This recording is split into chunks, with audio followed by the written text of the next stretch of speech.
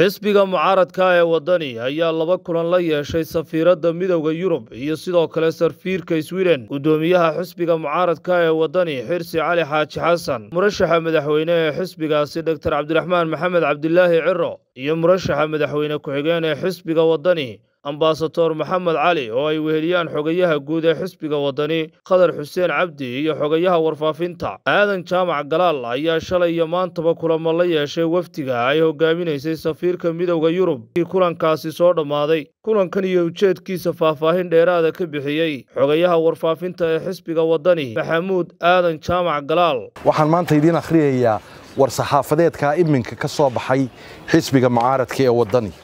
wuxuu war-saxaafadeedku odhanayaa guddoomiyaha xisbiga mucaaradka ee waddani mudane xirsi cali xaaji xasan murashaxa madaxweyne ee xisbiga mudane cabdiraxmaan maxamed cabdilaahi ciro iyo ku-xigeenkiisa ambasador maxamed cali iyo saraakiil sare oo xisbiga ka tirsan iyaa maanta iyo shalayba kulamo la yeeshay wafdi ay hogaaminaysay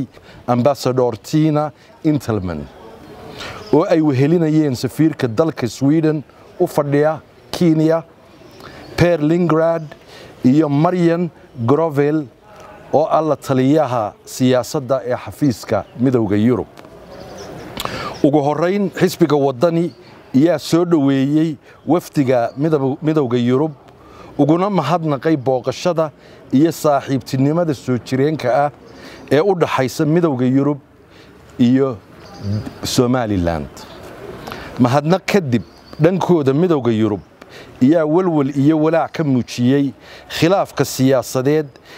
ee dhex yaalla xukuumadda jamhuuriyadda somalilan iyo asxaabta qaranka gaar ahaan arrimaha la xidhiidha doorashooyinka. Kadib wadahadallo qoto dheer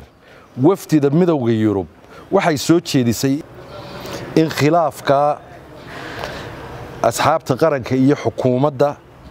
dhexdhexaadin iyo wadahadal lagu xalliyo. Xisbiga waddani wuxuu safiirada u caddeeyey mowqifka xisbiga oo ah inaanay jirin ama jiri karin doorasho ka soo horraysa ta madaxtooyada ee saddex iyo tobanka noofembar iyo in xukuumadda komishanka qaranka faragelinta iyo cadaadiska ka dayso si ay waajibaadkooda sharci u gutaan. Inay lagama maarmaan tahay xubnaha iska casilay in la soo buuxiyo oo si dhaqsa'a loo bilaabo diiwaangelinta codbixiyayaasha ugu dambayn wuxuu xisbigu sheegay aragtida uu ka qabo sida khilaafka loo xallili karo